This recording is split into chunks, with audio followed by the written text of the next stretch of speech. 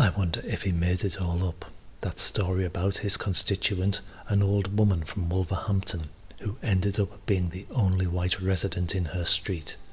whose life was made a misery by all her black neighbours and the little pickaninnies who posted shit through her letterbox.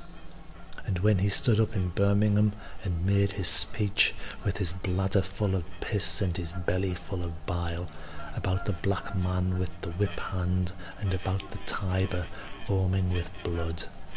there's no doubting that he understood the strongest emotions we possess are not love, happiness, and friendship, but fear and hate and prejudice.